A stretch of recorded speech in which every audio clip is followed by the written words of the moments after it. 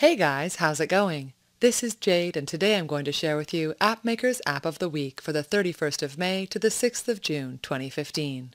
It goes to Tickhill Velo Club, a cycling club on the outskirts of Doncaster, South Yorkshire.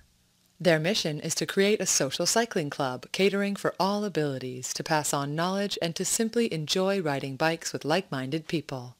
The app is specifically designed to be as simple and intuitive as possible. With just one click, users will be able to access the current weather condition in different parts of South Yorkshire.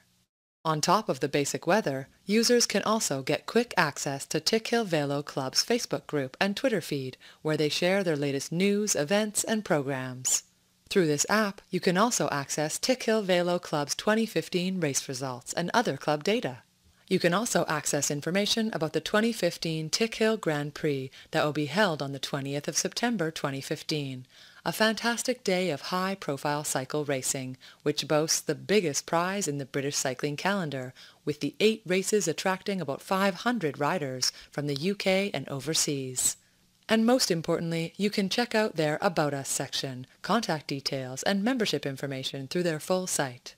For more info about the Tickhill Velo Club app that runs on the iPhone, Android, and HTML5 smartphones, click on the link below to download the app.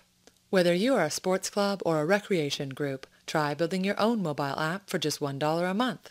You'll be impressed how much your mobile app would help improve communication and provide information to your members and the public.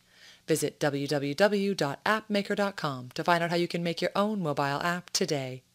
Thanks guys, and see you again next week.